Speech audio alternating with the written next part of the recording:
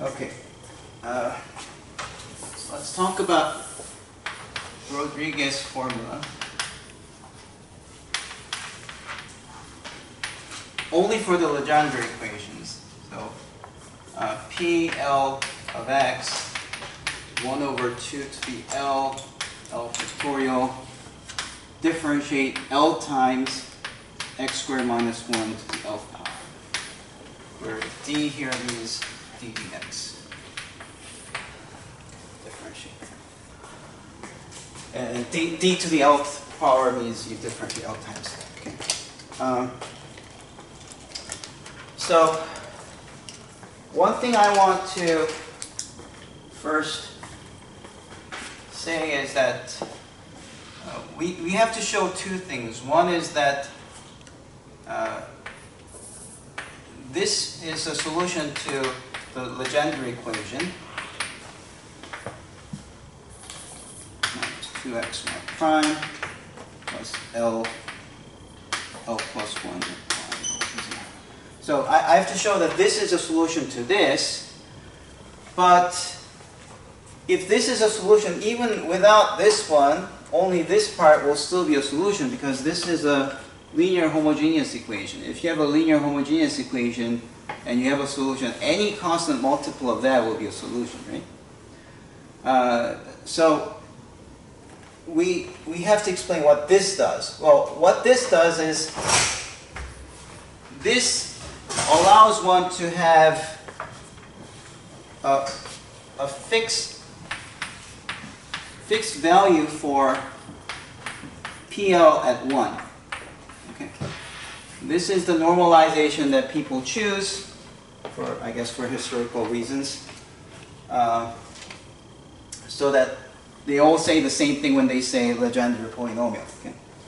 So you can say the following definition of what a Legendre polynomial is. Legendre polynomial is a polynomial solution of this equation with the property that PL of 1 is 1. Now I'm going to do two things. One is um, I want to show this first, okay? And then I'm going to get rid of this, uh, also, also do something funny here, and, and so that you get still some constant multiple of what I wrote here, and then show that that satisfies this equation, because even without the constant, it solves, then with the constant, it should still solve it, right? So that those are the two things I want to do. Okay, so uh, so set u. Well, first of all, x squared minus one is x minus one times x plus one, right? Then if you set u as x minus 1, that means x plus 1 would be, if you add 2 both sides, you get u plus 2. So now what is this? x squared minus 1 to the nth power would be u times u plus 2 to the nth power. Do you agree? Okay. Which is u to the nth power times u plus 2 to the nth power. But then this, you can use the, oh, oh, I, I know what. Uh, what I need is, from here, I need the u to the nth powers coefficient. Because, here's what I'm trying to say. If you view this one as a function of u, so as function of u, then PL1 is same as f evaluated for what values of u? u of 0. Because when u is 0, x, x minus 1 is 0, then x would be 1. Do you agree? So f of 0. Which means what I need to do is, uh, by the way, differentiation by x is same thing as differentiation by u because uh, du is same as dx, right? So if I have to differentiate x squared minus 1 to the nth power l times, and I need to plug in, actually, let's write it like this. u to the L, u plus 2 to the Lth power. If I have to differentiate this L times, and then plug in u equal to 0, I'm really asking what becomes the constant term here? What becomes the constant term? The one that has u to the lth power, if you differentiate L times, it will give you the constant term, right? But then, because you already have u to the lth power, you're looking, really looking at the constant term of this one. What's the constant term of this? Well, how do you get a constant term for a polynomial? You plug in 0 and you get the constant term, don't you? Right? So if you plug in 0, you get 2 to the L. So which means that this mysterious thing, I don't care. It's like u to the 2L, then something u to the 2L minus 1. You have a bunch of other stuff, but I do know that 2 to the L, u to the 2L, u to the L is what the, the, the lowest order polynomial. The lowest order term this can produce is 2 to the L, u to the L. Do you agree? Right? Okay. Now you differentiate that L times. What, what do you get if you, if you take u to the L and differentiate L times? Every time you differentiate, L comes down and L minus 1 comes down. If you differentiate twice, you get that. Differentiate three times, you get this. So all the way to this. So that's L factorial, right? So if you plug, if you differentiate this L times and you plug in zero, you're going to get 2 to the nth times 2 to the lth power times L factorial. And because there's this coefficient, the value of f0 will be exactly 1. So that part is proved. Is that okay?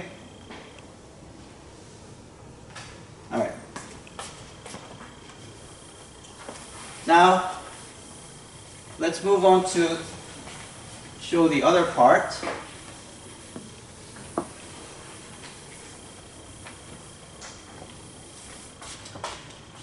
Uh, so now what I'm going to do is I want to show that uh, y equals to d L of 1 minus x squared L is a solution or solves 1 minus x squared y double prime minus 2x y prime plus LL plus 1 y. So I can show show that one. Now how do I show, uh, why, why do I say that? Well, see, this is same thing as this when L is even, and this is negative of this one when L is odd, right? But negative 1 is still a um, constant multiple, right? So these are constant multiples of each other. So if I can show that this is a solution to this, then this will automatically be a solution. Do you all agree with that? Okay, so I'm going to show you that. And this is nothing more than really complicated calculation, so watch closely. So here's a proof. I had to work this out several times to convince myself. So you first set v as 1 minus x squared to the nth power. Okay, this thing inside, let's call that v. Okay. Then if I differentiate v, we can differentiate by using the chain rule, right? L comes down, you have 1 minus x squared, L minus 1, but then the chain rule says you differentiate the inside function whose derivative is negative 2x, right? Okay. Now, see what we get if I multiply 1 minus x squared to v prime then that gives you another 1 minus x squared. So this minus 1 will get canceled by multiplying this, right? So you get L times 1 minus x squared to the lth power times negative 2x. But this is v itself, right? So I get the following identity that 1 minus x squared v prime equals to negative 2lx v. Move this to the other side and you get this identity which says 1 minus x squared v prime plus 2lx v equals to 0. Okay. Uh, now, what I want to do is I want to calculate these things and then actually, I want to differentiate that several times so that I'll show that this eventually gives you this equation. So now let's think about this. I need to differentiate VL times to get Y, right? Uh, but, but in order to get Y double prime, I would need to differentiate L plus 2 times, right?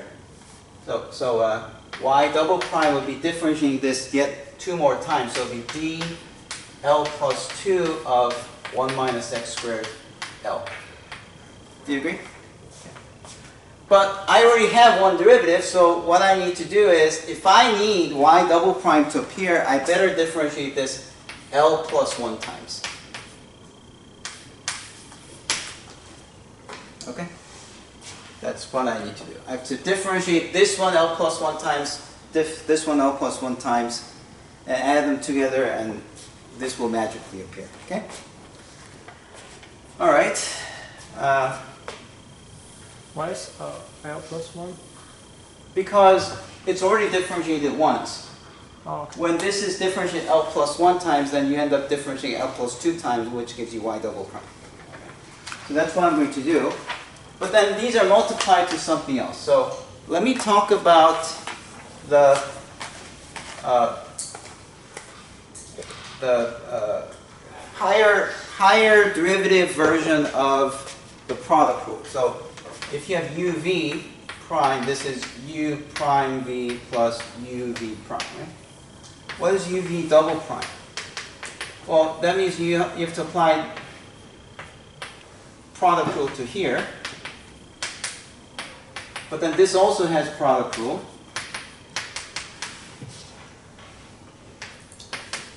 And you see that these double up, right? So it's u double prime v plus 2u prime v prime plus uv double prime. Now what would you get if you differentiate this three times? Then it'll be this one with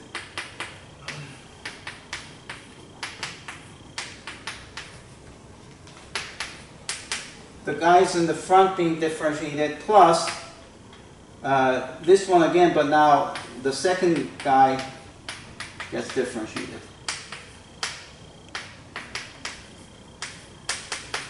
And you see that again, these are like terms, so you get uh, u triple prime v plus 3 u double prime v plus 3 u prime v double prime plus u v double prime.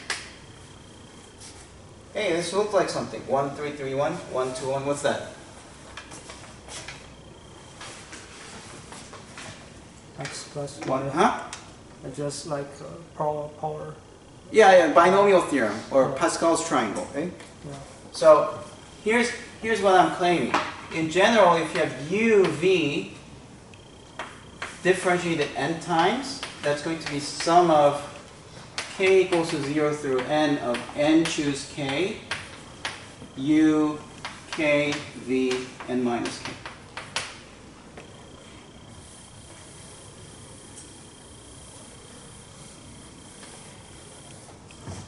Okay? Is that okay? Now, we are going to use this formula, but instead of n, we want to differentiate L plus 1 times, right? And we also, we're, just going to pretend that this is u. Okay? So let's see what that means. Um, you have u times v prime, and we're trying to differentiate L plus 1 times. So instead of n, I have L plus 1. And this is uh, L plus 1, choose k, u to the k, and v to the L plus 1. But see, there's v prime. So for v, it's v prime of L plus 1 minus k, but you can delete this prime and increase this to 2. Okay. So that's what I get. And another thing is, oh, this is not kth power. This is, sorry, these are derivatives, not powers. Okay. So it's just like the binomial theorem, but except for except that instead of powers, you have derivatives. That's the multi uh, uh, higher derivative version of the product rule. Okay. So uh, if you take u and differentiate three times, what would you get for u equals one minus x squared? What do you get? I have a question. Yeah. Uh, why the power of the v is L plus 2? It should be L plus 1. No, there's a prime here. v prime to the L plus 1 minus k is like you're differentiating this one more time. This is Oh. differentiated one L plus 1 minus k time and you're differentiating Okay. one more time. So that's L plus 2. All right. Uh, so what is u differentiated three times?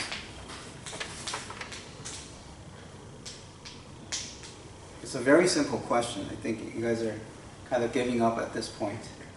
Mm, You- If you do it, it's 0? zero. Why? u is 1 minus x squared. It's a second order polynomial. If you differentiate three times, it's zero. So what that means is you just have to write this explicitly for k equals to 0, 1, 2. Starting from 3, it's gone. So if I differentiate 0 time, anything true to 0 is 1. And anything differentiated 0, well, it's differentiated 0 times is 1 minus x squared. Uh, v to the L plus 2. And as I said, this, if you differentiate v L plus 2 times, this is the same as y double prime, right? Okay, and then plus, when k is 1, what is L plus 1 choose 1? That's L plus 1 factorial divided by Plus 1 L factorial, plus 1. L plus 1 minus 1 factorial. Is just L plus 1, right?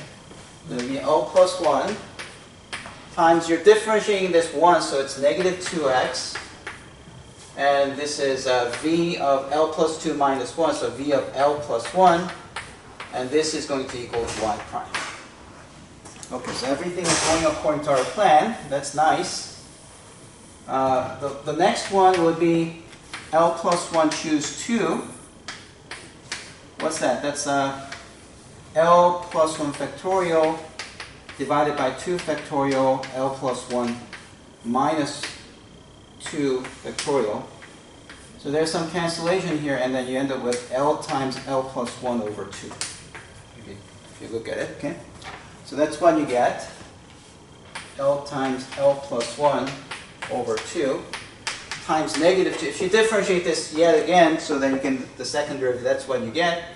And you get v differentiate L times, and v differentiate L times is y.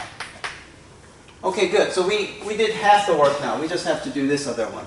But you know what? That's easier because you can apply the same principle, but this time your u, what we call as u, is 2lx. It's a first degree. So how many times do you have to differentiate to get, get rid of it?